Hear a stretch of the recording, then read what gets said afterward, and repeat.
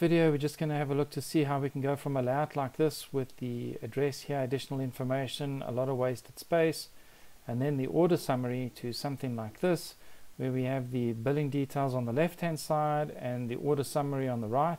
So far more engaging and if we were to make the header smaller, maybe something like that, then you can get a lot more information on the page. So to do that, uh, we're going to head back here and I've already activated the customizer in WordPress to open the side panel. We'll go to additional CSS. I'll just paste that CSS in there.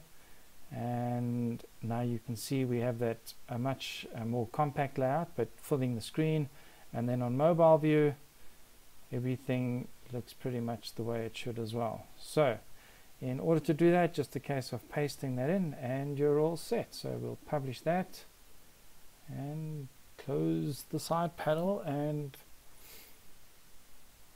there we have a, a more compact layout. So um, I hope you enjoyed that video and thank you for watching.